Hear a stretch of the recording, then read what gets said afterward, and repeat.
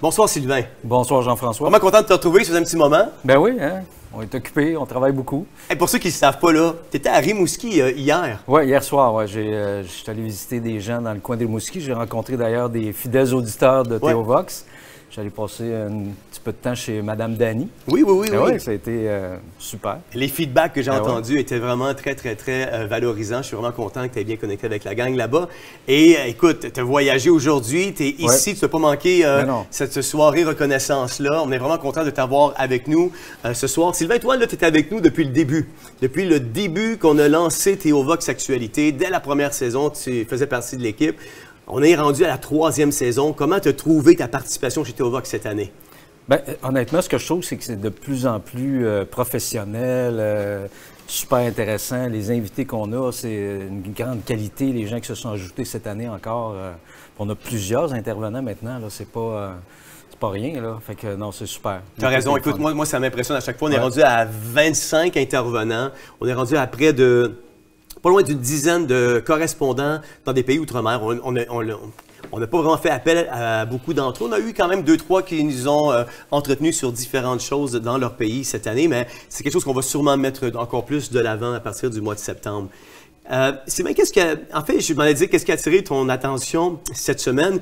Dans les médias, mais il y a quelque chose plutôt qui, qui m'a attiré mon attention à moi, puis je voulais m'entretenir avec toi euh, là-dessus ce soir. Il y a un article qui est apparu cette semaine dans le Journal de Montréal qui déclarait que dû à l'inflation, la sécurité de la retraite euh, des Canadiens serait euh, menacée. Comment la sécurité de la retraite des Canadiens pourrait être menacée due à une inflation?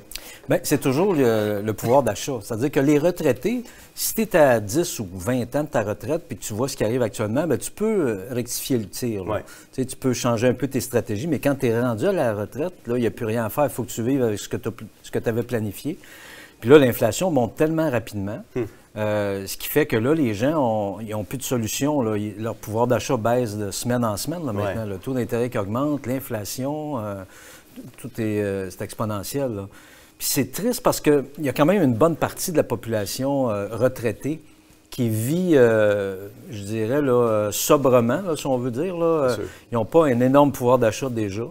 Euh, là, on vient de couper ça. Euh, Moi, je, je sais que je suis euh, impliqué dans une, une- une, chez Provision, là, qu'on Ouais. a vu dernièrement. Là, puis, euh, banque alimentaire. Une banque alimentaire. Et puis, c'est fou, là, les demandes qu'on a de plus en plus. Là. Puis, ce qui est frappant là-dedans, c'est que, comme on disait l'autre fois, c'est c'est des gens qui travaillent, mais même s'ils travaillent, ils ils ont plus assez d'argent. Fait qu'imagine les retraités. Il y a vraiment un fossé qui se creuse entre Ça les creuse, riches là. et Ah les ouais. pauvres de Parce qu'un riche qui a un million, s'il perd 20% il reste quand même 800 000. Ouais. Mais quelqu'un qui reçoit 1500 par mois puis que le coût de la vie augmente de 20% lui, il n'y a, pas de solution. C'est ça qui est fait. Comment on peut arriver à planifier sa retraite dans un contexte d'inflation?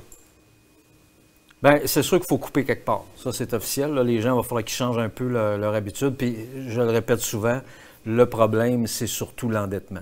L'endettement pour des biens euh, qui sont dépréciables, soit euh, des autos, des meubles, des voyages. euh, on, vit beaucoup trop à crédit. Contrairement à ce qu'on faisait, là, 50 ans passés, on voulait acheter quelque chose qui coûtait 1000 ben, on ramassait le 1000 puis on allait l'acheter. Là, c'est ah ben j'achète tout de suite, puis je vais payer des tempéraments ou je vais payer plus tard. C'est ce qui nous a, puis ça fait 30 ans que ce système-là est entré dans nos mœurs. Ouais. Puis là, on arrive avec la situation qu'on a actuellement, puis on est surendetté. La statistique, c'est vraiment que 37% des familles actuellement vivent d'une paye à l'autre. Je le répète souvent, mais il faut que ça change. ça. Puis, Ouais. c'est- puis nous autres, ce qu'on voit plus dans le marché, là, chez les jeunes familles, c'est près de 50% Imagine, imagine. Quels pourraient être les dossiers sur lesquels tu vas te pencher durant la période estivale? Ben moi, personnellement, dans...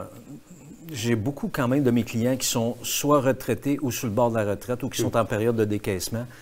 On cherche à trouver des solutions pour sécuriser leur portefeuille, c'est sûr. Il n'y a, plus rien qui tient. Puis ce qui, tenait avant, euh, là, c'est des stratégies qui sont inadéquates là. Fait que c'est vraiment travailler pour protéger leurs actifs. Et puis, euh, puis c'est l'inflation. Euh, c'est sûr que là, on va avoir encore deux périodes d'ici la fin de l'année d'augmentation de taux d'intérêt. C'est sûr.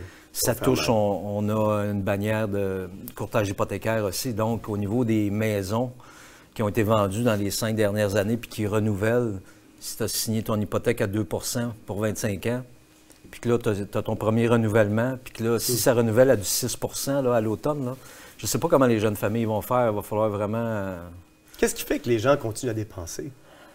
Ben, c'est fou parce que le- le gouvernement augmente le taux d'intérêt justement pour ralentir la consommation. Mais il y a comme comme ils ont été privés pendant deux ans, on dirait que là, c'est la folie. Là. C'est comme, euh, on disait quand j'étais jeune, un veau du printemps, là, il n'a pas sorti de l'hiver, tu le lâches le printemps dans le clos, là, puis là, il court partout, il est plus arrêtable. Mais on dirait que c'est un peu ce phénomène-là. Les gens, là, on, le voit là, avec les passeports, là, les ah gens, ils veulent voyager à tout prix. C'est correct, mais je veux dire, ils sont prêts à coucher cinq jours. Là, Ils ont couché sur le trottoir là, pendant cinq jours pour avoir un passeport. Moi, il me semble j'aurais dit, bon, on leur ramène des toilettes chimiques là-bas. Ben oui, moi, je me suis dit, bon, on va attendre à l'automne. mais là, les gens, ils ont une frénésie. C'est vrai. C'est fou, là. Exactement. Sylvain, euh, question qui est-ce qu'on peut euh, compter sur toi, pour une quatrième saison? Assurément. Ah, en tout cas, on est vraiment content. Merci beaucoup, Sylvain. Merci. bon festin. Amuse-toi bien ce soir. Merci. On est vraiment content. Vous savez, moi, je me souviens de la toute première chronique que Sylvain euh, Goulet avait livrée sur le Bitcoin qui avait fait une tollée. Les gens, je, me souviens, il y avait des auditeurs, là, ils étaient vraiment en furie par rapport à cette chronique-là. Mais n'empêche que quelques semaines après, euh, la chronique de Sylvain, euh, ça s'est avéré vrai. le, Bitcoin avait vraiment chuté de façon phénoménale. Et puis, je vous dis, Sylvain, c'est un, un conseiller euh, financier extraordinaire. On voit qu'il a plus de 30 ans d'expérience en arrière de la cravate et euh, je pense que ses interventions ont vraiment été à chaque... Je crois qu'il a, euh, qu'il a livré une chronique. Sa chronique a toujours été grandement appréciée par les auditeurs et on est vraiment content de pouvoir compter sur lui encore pour la nouvelle saison qui débutera au mois de septembre 2022.